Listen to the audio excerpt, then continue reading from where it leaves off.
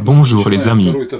Nous entamons maintenant la deuxième étape du test de notre appareil Apivox Smart Monitor, avec de la ruche d'observation. Nous l'avons pris dans la rue, car il y avait une odeur de miel dans les trous des murs, et la famille était attaquée par les guêpes. Nous avons fermé les murs transparents avec des panneaux et les avons remis au rucher. Maintenant, nous allons l'amener périodiquement à la salle pour des tests, et puis le ramener à sa place, dans la ruche. Nous avons un cadre avec une couvée et un cadre avec du nectar, mais il fait assez froid. Et toutes les abeilles se sont rassemblées dans la zone de couvain du nid, afin de le réchauffer. Cette soirée est plutôt fraîche dehors. Par conséquent, aujourd'hui, nous espérons corriger certains signaux que les abeilles produisent lorsqu'elles s'occupent du couvain quand elles le réchauffent. Nous avons vu des signaux faibles de soins de couvain. Mais le contexte a quelque peu changé. Malgré cela, nous continuerons à observer la famille dans l'espoir d'obtenir de nouveaux résultats. Et il semble que nous ayons quelque chose d'intéressant, regardez l'abeille qui bat des ailes.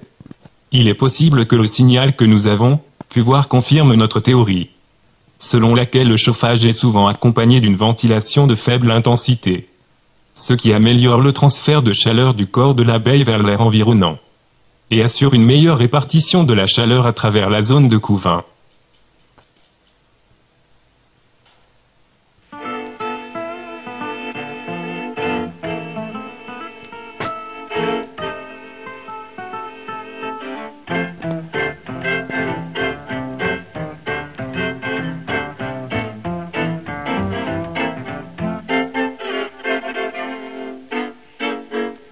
I'm coming, Virginie.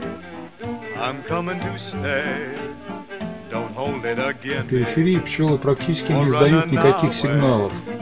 А вот в центре какой-то сигнал есть. В районе 200.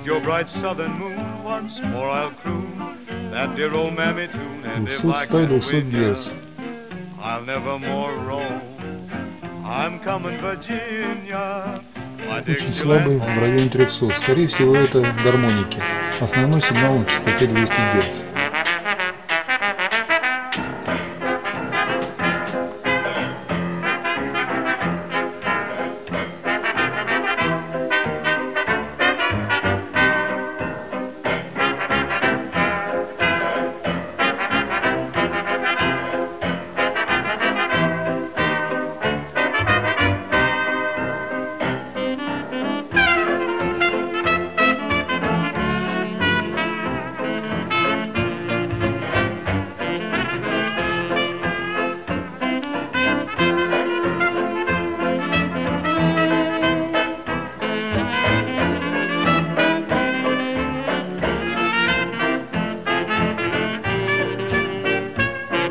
слушать и игнорироваться.